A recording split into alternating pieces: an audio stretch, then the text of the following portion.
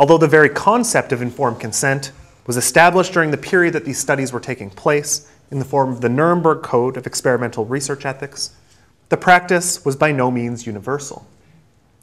The Nuremberg doctors' trial, for its part, which saw infamous Nazi doctors prosecuted for horrific experiments conducted on Jewish prisoners in particular, actually received little coverage in either the Canadian or American press. And according to historian Jay Katz, even scientists who were aware of the Nuremberg Code often viewed it as, quote, a code for barbarians and not for civilized physician investigators. When interviewed in May 2000 about the fact that dental treatments were withheld from children, Pett, for his part, distinguished between his experiment and one that would be considered unethical by arguing that it was, quote, not a deliberate attempt to leave the children to develop cavities except for a limited time or place or purpose, and only then to study the effects of vitamin C or fluoride.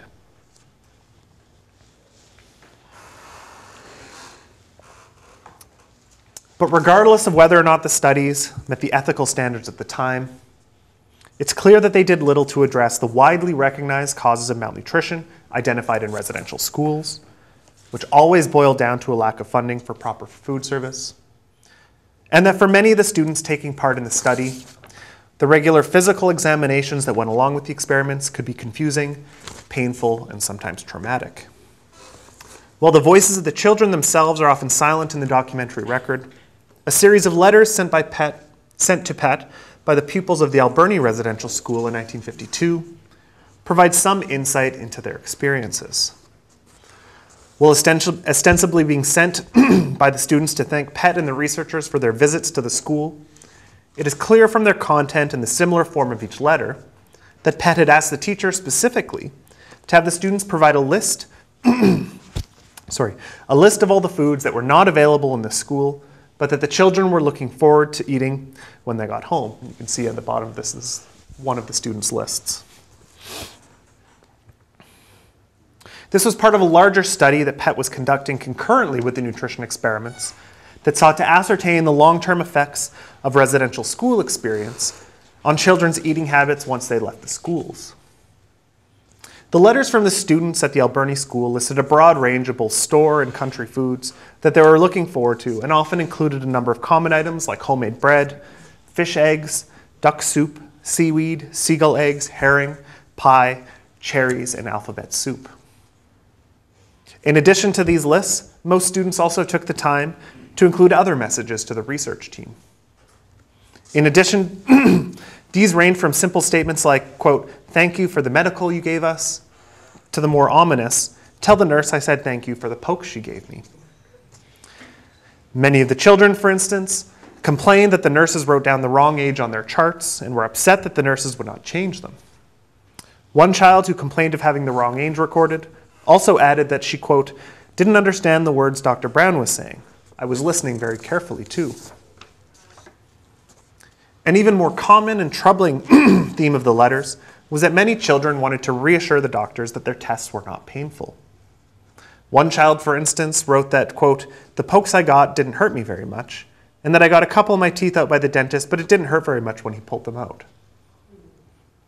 Another student wrote, quote, Thank you for all the pricks you gave us. I hope we are going to be healthy all through the year and not take so many teeth out. We will all try not to get sick. The fear involved in the clinical interaction between doctors and students was perhaps best captured by the student who wrote When the nurse pricked me, it did not hurt me at all, but a little part of it is showing yet. I hope I am okay.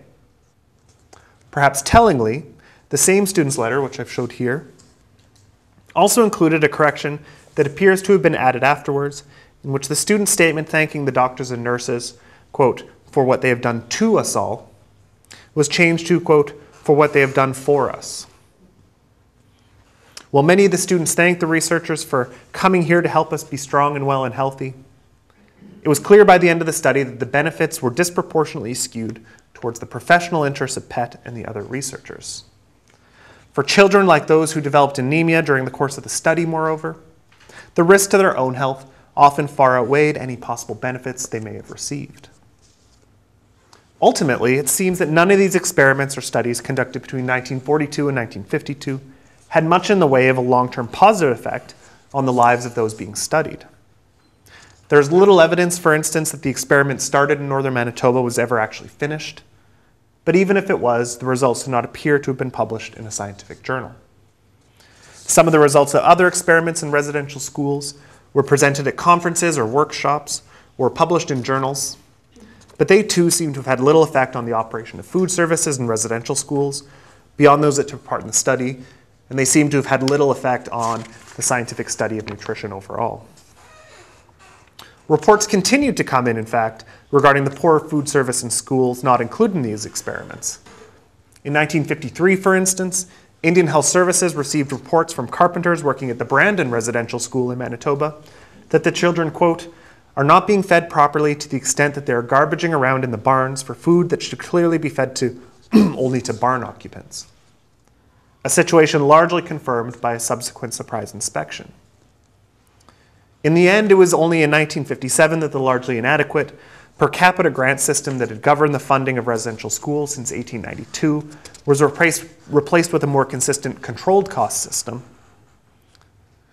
This new system gave Ottawa the power to audit the schools, it was funding, and for the first time, the federal government had some direct say in the quality of food being served the, in the institutions through a system of formal standards and inspections.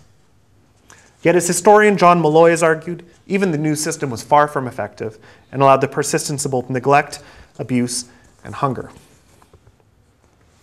Nearly a decade of experiments and studies on Aboriginal foodways and malnutrition appear similarly to have done little to alter the pre existing assumptions held by federal policymakers and bureaucrats like Pett and Moore. Both continue to argue for expert driven technological solutions as a means of easing the so called transition from traditional to modern foodways. And in many ways, such attitudes simply fit within the technocratic and paternalistic ethos of Canada's administration of Aboriginal peoples during this period.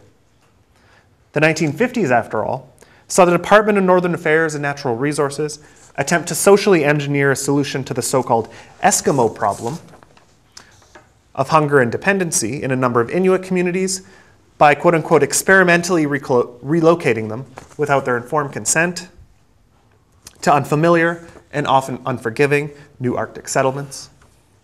As has since been well documented, the result was not only profound social and cultural dislocation, but in the tragic case of, and I apologize for butchering this pronunciation, the Aharamut of an Ennadai Lake.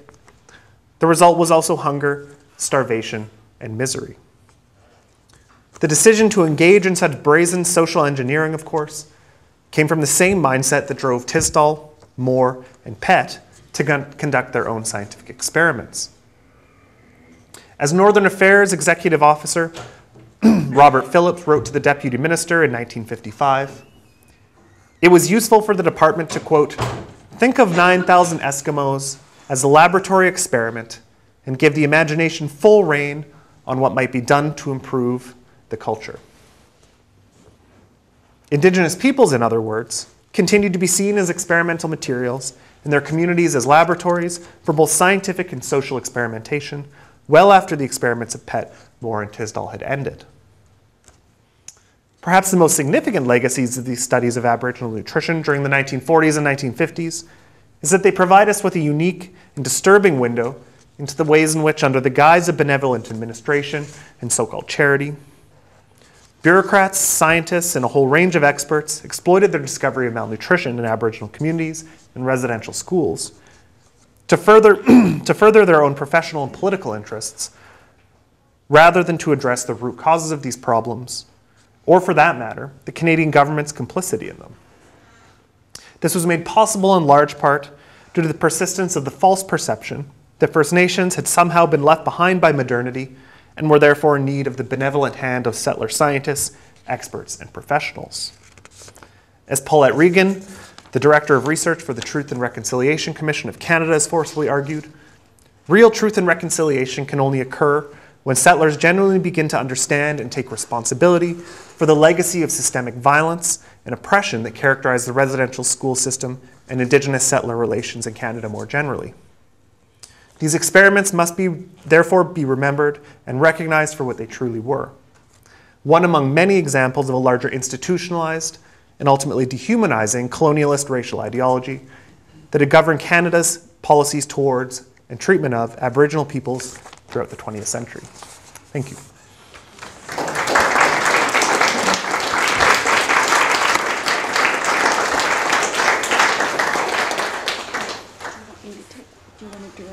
Sure. Questions? Yeah, that's fine. Okay. Um, so uh, Dr. Mosby will take questions. Um, well, we can take a brief pause if anybody needs to leave before the Q&A starts or wants to get juice or coffee or cookies if there's anything left there. Um, You all look like you're staying put, though. All right, well, let's go right to it then. Um, I think it's probably easier if you just recognize hands. No problem, yeah.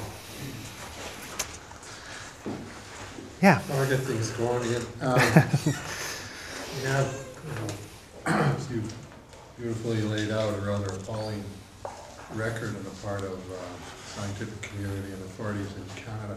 I'm just wondering, i- you know, if if you have any sense, uh, if we were to, com- is there, a- is it possible to compare what was going on in Canada with the European experience and treatment of Aboriginal peoples, and say, by, in the Soviet Union? or in Scandinavia, or whatever, is, have you come across anything that would give a sense that could place the Canadian experience in a more comparative um, yeah. Much of much of the comparative literature I've looked at has mostly been in the the context of North and South America. Um, but you know, this is these experiments are occurring at the same time as the Tuskegee syphilis experiment in southern United States, also occurring at the same time as um, the syphilis experiments being conducted by the U.S. Department of National Health, I believe, on indigenous peoples in Guatemala. So there is there is a larger context of um, you know similar abuses being done by scientists to to indigenous peoples in the Ameri- in the context of North and South America for sure.